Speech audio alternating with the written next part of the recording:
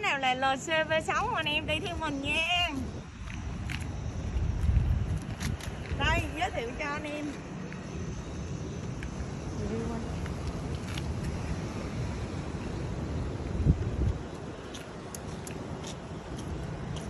Thì đây là một chiếc V6 mình mới vừa dọn xong.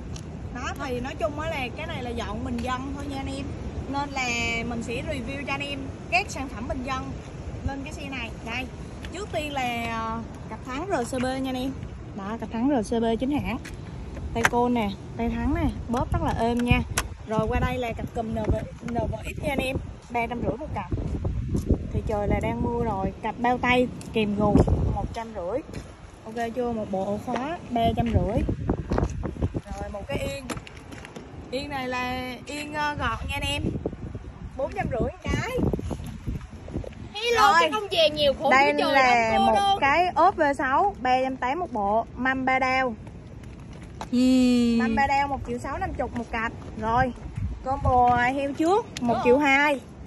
Ok combo này một triệu hai nha anh em. Đó rất là rẻ tính ra cái xe này dọn lên đâu có mười mấy triệu anh em.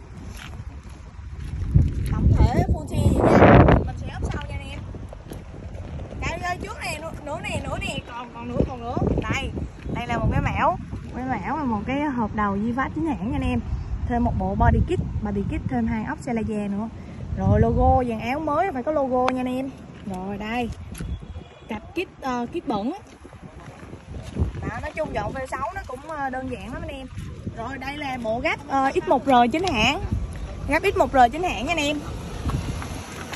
Đây là một cái bộ cùi CNC và nhông sinh dĩa. Rồi đây là phuộc uh, ờ, ni tròn bình dầu ni tròn bình dầu mình giấu ở trong này nè anh em. Bình dầu mình giấu trong này nè. Đó mình không mình thích đi bình dầu nhưng mà mình không có thích phô trương. Anh em hiểu không?